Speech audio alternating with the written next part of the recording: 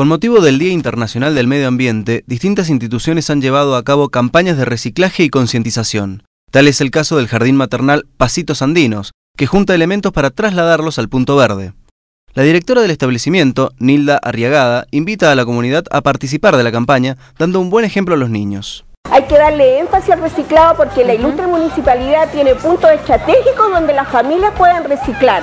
El viernes todos los reciclados reunidos en esta semana los vamos a llevar al punto verde, que está ubicado allá a la salida de los Andes. Así que nosotros instamos a la familia, a los vecinos, a acercarse al jardín, dejar sus bolsas, pilas, diarios, revistas, botellas, plásticas, de vidrio, etcétera, para de alguna manera colaborar con nuestro medio ambiente.